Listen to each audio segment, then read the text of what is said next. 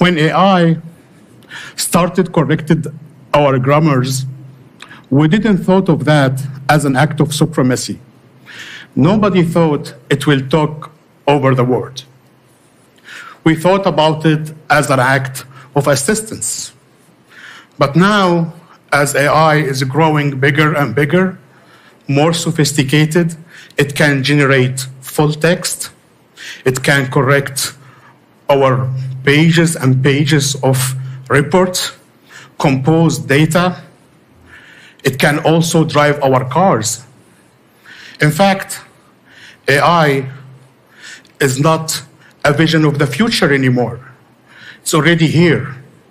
We are already invaded by AI.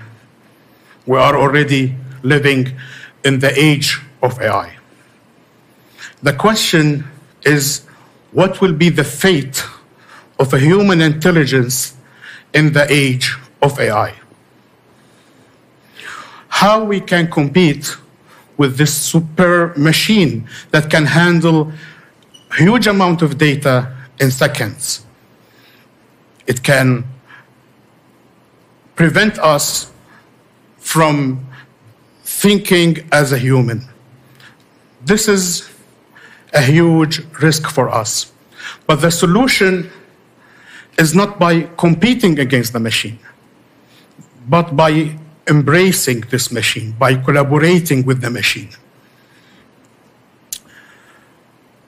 The idea is to talk about human AI augmentation, which means we'll augment our intelligence using artificial intelligence. Haya is a concept that can be used to amplify the basic power and ability of humans, like intuition, educated guess, gut feeling. In fact, intuition is a very strong ability. It's a superpower. A lot of leaders and business people attribute their success to intuition. Intuition has guided them to deliver great decisions and to have very successful innovations. Steve Jobs, Oprah Winfrey, to name a few of them. Let me tell you a story about a friend of mine. For the sake of the story, her name is Dr. Emily. Dr. Emily is a researcher in life science. She uses AI in her daily life as an augmentation for her intelligence. So one day, she wanted to develop a research plan that give her what she needs to do in the upcoming six months in her field, which is medical research. So Emily is very knowledgeable in the domain of biochemistry. She knows what the medical fields needs. Using her intuition, educated guess, and knowledge, she drafted very particular questions about what kind of molecular structure she need to study, what kind of conditions she need to treat.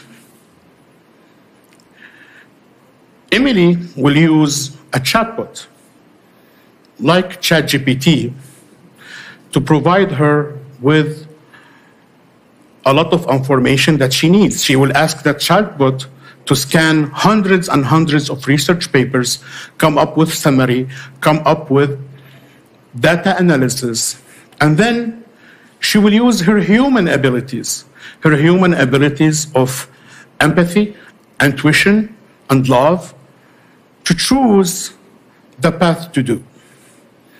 The chatbot will give her a path of efficiency, That means minimizing the task and minimizing the experiments that she will do in the lab. But Emily distinguished between two kinds of experimentation. In vivo, which means experiment on human or animals. In vitro, which means experimentation in a test tube. For the machine, it's a question of efficiency and results. For her, it's a question of empathy. She wants to minimize the hardship on the patient. So she wants to minimize the in vivo and maximize the in vitro. So she uses her empathy and um, her ability to think morally, to make the right decision, something AI cannot do. The story does not end here.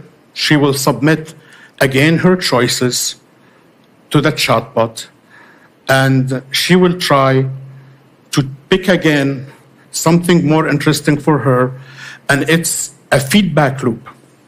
In this feedback loop, both are learning. The machine are learning, and Dr. Emily, she is learning too. But the machine is learning data, while Emily is gathering wisdom. Something, again, the machine will never understand. This feedback, feedback loop is the illustration how Emily is using AI to augment her intelligence, to augment her empathy, and to come back with a research plan that usually it could take months to draft in days. You know, we are advocating to use AI, but we shouldn't rely on AI too much. That could lead to a stagnation state that I call for fun brain obesity. In fact, it's, it's an analogy with the Industrial Revolution. The Industrial Revolution brought to us new kind of jobs that don't need physical activity. These jobs brought to us what we call obesity in the society. The same way, this digital revolution with AI could bring to us brain obesity when we don't use our human attribute and human intelligence and rely too much on AI. In fact, I call it brain obesity, but in practicality, it's brain atrophy. We could lose our human intelligence. Let me give you another story that illustrate more how we shouldn't be in the situation of brain obesity. I have a friend who is a music producer. He invited me one day to experience this new AI tool. It can generate a whole song from lyrics. You provide lyrics, and you ask the tool, I want a song for country music or pop, and it will not generate only the music for the lyrics, but the whole song with the singer. Well, he showed me that. I was impressed. Wow, that's impressive. A whole song generated but by AI. So he asked me a question. He told me, Would you listen to this song in your car or when you go work out in the gym? And my answer was, no, I will not. I thought about it. What does that mean? I asked him. And he, saw, he said to me, because there is no emotional connection to this song. For you, this song is a spam, undesired content it means nothing to you. Still, my friend is using this tool to give him ideas, to give him inspiration, then he will compose the right song that connect with his followers, with his fan, that create emotional and empathy with the listeners. AI is a very powerful tool. But in this new era, what makes us human is our emotional intelligence, our empathy, love, and our superpower is intuition. The irony is not that I became human like. No. The problem is that we we have behaving and asking people to behave like machine in the last 50 years. We give them standard operating procedures and we ask them not to use their emotions in their decision in business or in work. That needs to stop. We have an opportunity with AI now to give machine the redundant work the routine. And we go back to do what distinguish us as human critical thinking, emotional intelligence, and empathy.